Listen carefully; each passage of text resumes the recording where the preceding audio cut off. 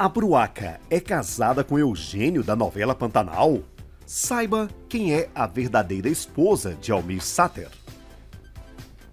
A intérprete de Maria Bruaca, a atriz Isabel Teixeira, vem dando um show de atuação com sua personagem em Pantanal.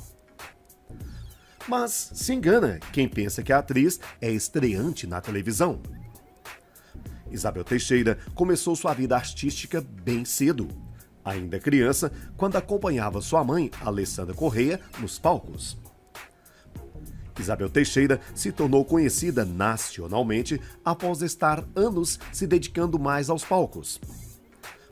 Ela mesma se diz uma atriz de teatro e que, por isso, não correu atrás de trabalhos na televisão.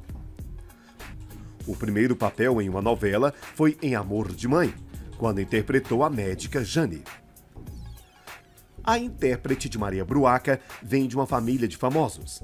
Além de sua mãe, a grande atriz Alessandra Correia, Isabel é filha de Renato Teixeira, um dos maiores cantores e compositores da música brasileira. Renato fez uma participação para lá de especial na novela Pantanal. Ele deu vida ao peão Kim na segunda fase da trama, em uma cena emocionante. Na primeira fase, Kim foi vivido por Chico Teixeira, filho de Renato e irmão de Isabel Teixeira. Quanto à vida pessoal de Isabel Teixeira, muitos pensam que a atriz é casada com Almir Sater, o Eugênio da novela Pantanal. Mas isso não passa de uma confusão do público. Almir Sater é amigo da família de Isabel há décadas e por isso sempre participam das mesmas festas e comemorações. Almir é parceiro musical e amigo de Renato Teixeira de longa data.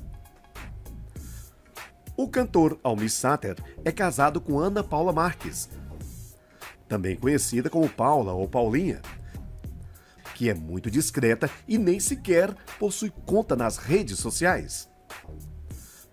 Recentemente, ela fez uma raríssima aparição ao lado do cantor em Mato Grosso do Sul, soltando a voz. Enquanto as gravações da novela Pantanal estão ocorrendo nas propriedades do artista, Ana Paula foi flagrada pelo ator Silvério Pereira cantando junto com Almir, em um momento para lá de carinhoso.